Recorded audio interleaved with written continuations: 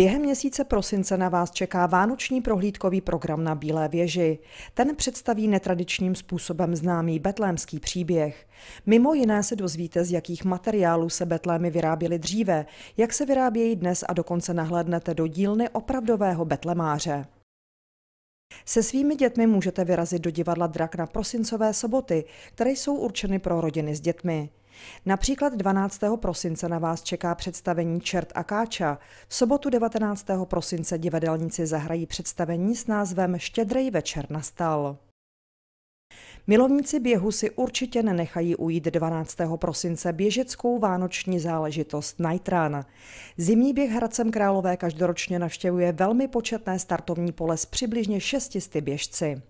Pět kilometrů dlouhá trať vede kolem Labe a v nočním prostředí má své nepopíratelné kouzlo.